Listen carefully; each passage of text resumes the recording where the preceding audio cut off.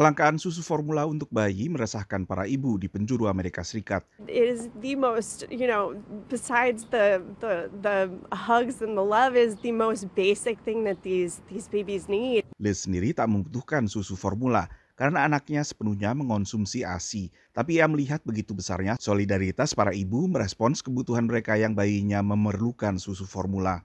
People have texted pictures of grocery shelves saying there is this much formula left. Does anyone need me to pick it up? Had some Enfamil and Similac samples at home, so I just found a shelter that I can donate them to. Solidaritas ini juga tampak di sebuah bank ASI di Newton, negara bagian Massachusetts. We're hearing from um, moms who want to be part of the solution to this crisis and are interested in donating the excess milk that they have. Um, so we're really pleased to see that response. And then we're also hearing from parents who are worried, who are looking for new um, strategies for feeding their babies. Bila biasanya Bank ASI ini mendapat 30 hingga 50 panggilan telepon menawarkan donasi, sejak susu formula langka, tawaran lewat telepon bisa mencapai 30-an dalam sehari.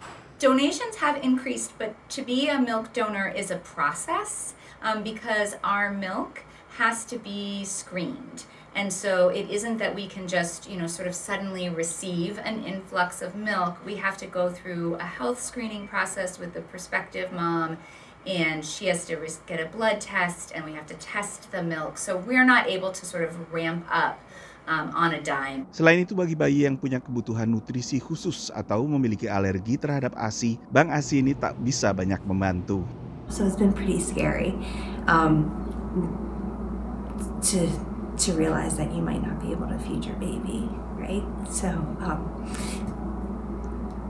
we're probably going to try and switch and, and, get some formula too, like when that when that's out. But we just don't know what to do. Kelangkaan berawal dari gangguan jalur pasok yang semakin parah akibat penarikan produk produsen terbesar susu bubuk Abbott pada Februari.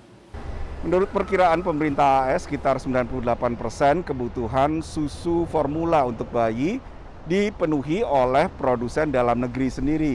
Sementara selebihnya harus mendapat persetujuan dulu dari Badan Pengawas Obat dan Makanan AS atau FDA.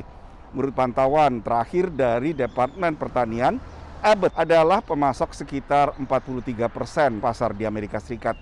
Dari Washington DC, saya Nova Purwadi dan tim VOA.